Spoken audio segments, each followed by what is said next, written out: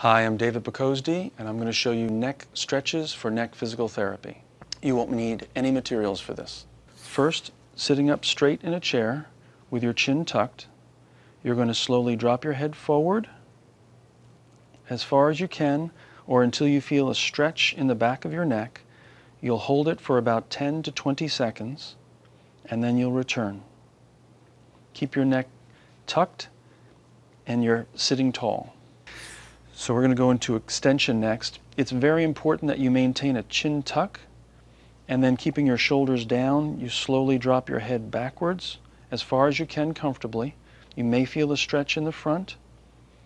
You hold it for about 10 seconds and then keeping your chin tucked as you come back up.